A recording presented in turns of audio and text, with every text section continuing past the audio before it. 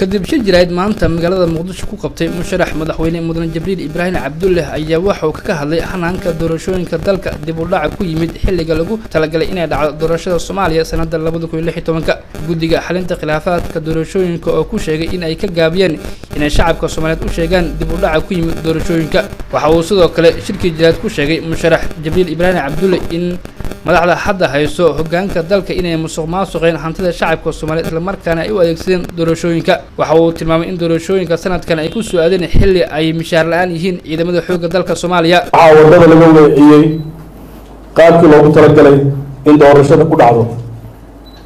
Waxaa lagu tagrifalay geedi socodka doorashada iyo maamulkeediiba waxaan aada uga xunnahay in dhammaan hay'adihii madaxa bannaan ah ee loo xil saaray inay kormeeraan xiriiriyaan doorashada ay gabeen hawshii loo idmaday annagoo taa ka ambaqaadayno waxaan halkan idinkugu soo gudbinaynaa caqabadaha hortaagan ee hareeraya doorashada una baahan in si dhaqsaa wax looga qabto. Waxaas waxa aan si aan aad a uga walacsannahay dib u dhaca joogtada ah ee joogtada noqday ee hareerayay hanaanka doorashada.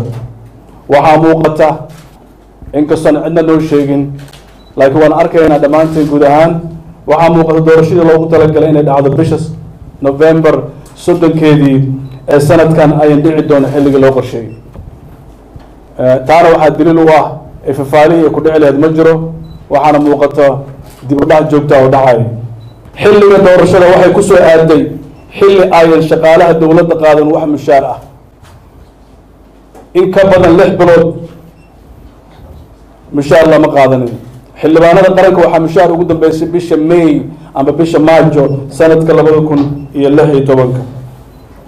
Ciidanka xoogga dalka soomaaliyeed saraakiisha ciidanka marka la isku daro sannadkii hore sanadkan sagaal bilood mushaar may qaadanin askarta ciidanka xoogga dalka marka la isku daro sannadkii la dhaafay sanadkan gaar ahaan sideedii bilood ugu dambeysay wax mushaar ay qaateen ma laha.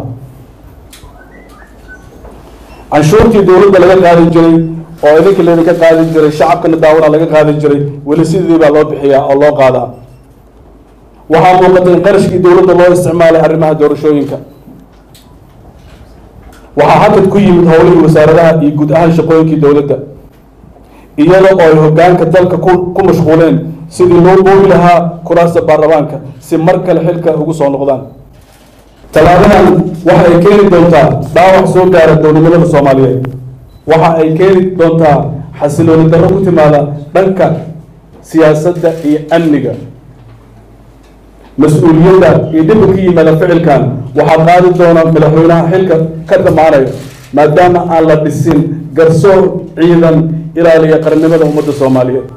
Waxaa kaloo soo ifbaxaya in boobkan uu la socdo iyada oo mas'uuliyiinta qaranka ka faa'iidaysanayaan waqtiga kooban ee u haray nin kastoo rajo aan lahayn oo soo noqonayn wuxuu bilaaba hantidii qarankeenu jeebka gashado ay ugu sarreysa mas'uuliyiinta ugu sarreeya qaranka ay yihiin. Waa khatar dowladnimada soomaaliya khatar ay ku tahay jiritaankeena khatar ku tahay dhanka kale shirka jaraa'id ayaa waxa uu kaga hadlay abaaraha ka jiro qeybo ka mid a dalka soomaaliya. Inkastoo hadda meelo qaar ay ka dayeen rabo waxa uu carabka ku dhuftay in shacabka soomaaliyeed ay u gargaaraan dadka abaaraha ku haysto gobollada dalka. Waxaa dalka guud ahaantiis ka jira abaaro daba dheeraaday. Inkastoo qeybo ka mid ah roobab ka da'een waxaan ugu baaqaynaa ummadda soomaaliyeed meel kasta oo ay joogaan gaar ahaan dadka ku nool qurbaha inay u gurmadaan walaalahooda dhibaataysan.